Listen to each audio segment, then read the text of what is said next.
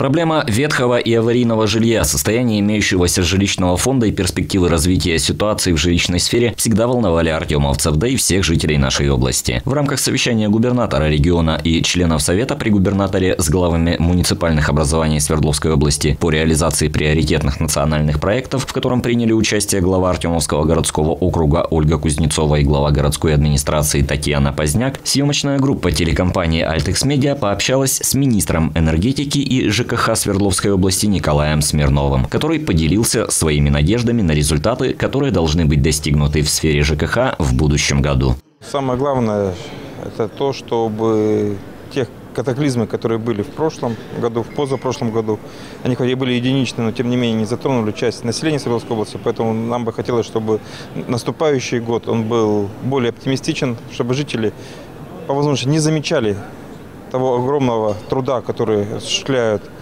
сотрудники и работники жилищно-коммунального комплекса, чтобы то тепло, свет, который есть в квартирах, оно, это было естественное и нормальные условия, и чтобы люди никогда по возможности не обращались по каким-то неотложным мерам к специалистам нашей отрасли. Конечно же, нынешние колебания на валютном рынке могут не в лучшую сторону отразиться на планах в сфере развития ЖКХ региона. Нельзя отрицать, что жилкомхоз региона в отдельных случаях напрямую зависит от иностранных технологий, которые в своем обслуживании используют импортные же комплектующие. Однако Николай Борисович не разделяет опасений граждан. Как специалист он видит решение проблемы в том курсе на импортозамещение, который наш регион активно проводит. Принципиально у нас в основном используется отечественное оборудование, материалы. Единственное только, что при строительстве новых котельных ряд оборудования есть импортное. Но я думаю так, что в рамках программы импортозамещения такие заказы будут размещены на предприятиях, в том числе и Свердловской области. Поэтому я думаю так, что принципиально это не, не скажет никакой роли.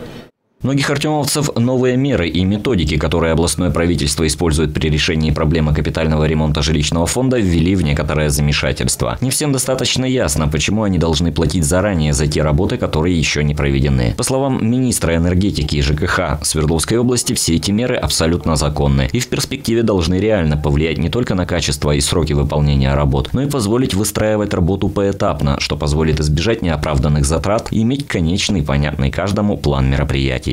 В соответствии с федеральным законом, это изменение и в жилищный кодекс, то есть пятый федеральный закон, все собственники, подчеркиваю, не только жители, но все собственники помещений обязаны оплачивать капитальный ремонт. Ставка утверждается постановлением правительства Свердловской области, она уже утверждена. Поэтому с ноября месяца все собственники, это и жители, и собственники, юридические лица, и муниципалитет, как собственник неприватизированных помещений, обязаны ежемесячно оплачивать плату за капитальный ремонт. А уже правительство Свердловской области будет отслеживать тем, чтобы эти средства были использованы целевым образом, эффективно и в соответствии с графиком ремонтные работы были бы проведены на всех домах Свердловской области, в том числе и города Артемовский. Беспокоит артемовцев и та ситуация, которая сложилась с реорганизацией управляющих компаний, которые как-то незаметно стали обслуживающими. Грядет серьезная работа по лицензированию их деятельности, которая грозит ликвидацией многих подобных компаний. Пока жители нашего города гадают, каким последствиям могут привести подобные серьезные изменения, министр энергетики и ЖКХ региона с достаточным оптимизмом смотрит в будущее и считает, что реорганизация в сфере управления обслуживания жилфонда региона на данном этапе просто необходима. Это действительно один из тех плановых шагов, которые есть по обеспечению прозрачности в сфере жилищно-коммунального хозяйства, это наведение порядка в сфере управляющих компаний, потому что у нас, с одной стороны, их излишне много, а с другой стороны, именно добросовестных управляющих компаний все-таки не так много, как нам хотелось. Поэтому я уверен, что после окончания лицензирования число управляющих компаний будет уменьшено. Это позволит им более экономически эффективно вести свой бизнес. И в то же время останется только те управляющие компании, которые хотят и могут работать цивилизованно, правильно, на благо населения.